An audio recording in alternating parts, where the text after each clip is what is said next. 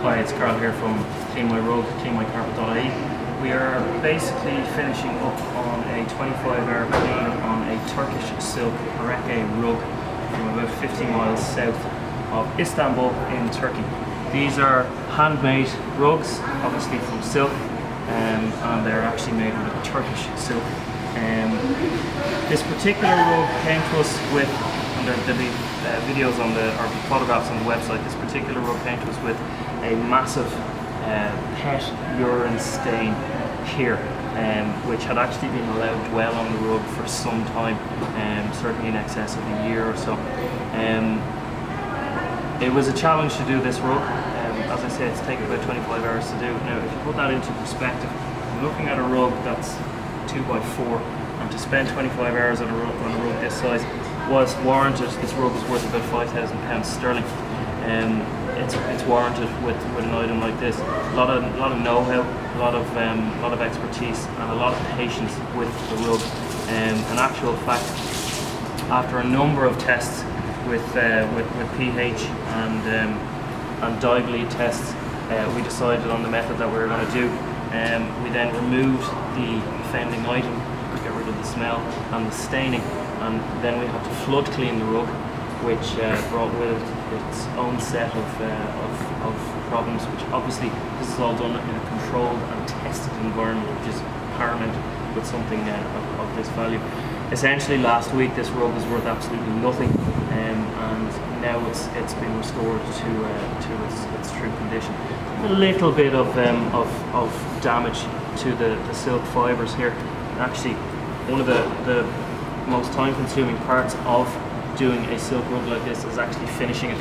And you finish them with uh, with, a, with a various uh, various different hand tools um, and specialist equipment um, and also making sure that the pH is where that it wants to be which is mildly acidic. Gives that uh, gives that beautiful hand on the rug. So we picked it up um, along with 18 other rugs from a customer from Dublin from Drumcondra and uh, we've been steadily working away on uh, on those rugs. Looking at about 100 hours on the uh, on, on, all of the items that we've done, and um, maybe about 120 because this took, as I said, 25 hours to do. The customer isn't actually aware that I've managed to reverse and solve and also remove the dye bleeding um, and, uh, and restore to uh, restore to true condition on the rug. Very very slight hue from these border areas where this particularly strong colour had bled out into these little uh, little um, rectangular motifs on the rug.